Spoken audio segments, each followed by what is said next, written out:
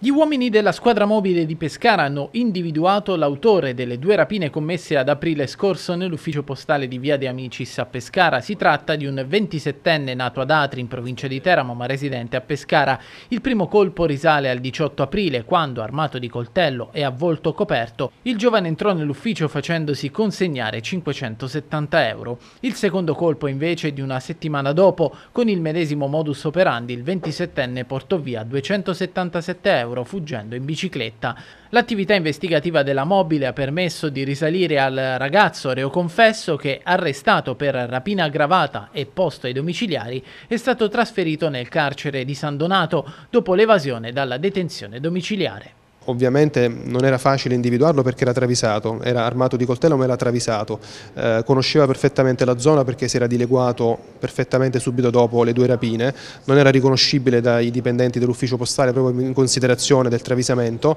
per cui eh, siamo riusciti ad arrivare al, al, colpevole che poi ha anche confessato a seguito della perquisizione, che ha permesso di ritrovare gli indumenti che aveva utilizzato durante le rapine, proprio in virtù di questa intuizione quindi del, del nostro poliziotto, quindi che ha, eh, ha capito che poteva trattarsi proprio del rapinatore quando lo ha, lo ha, lo ha rintracciato.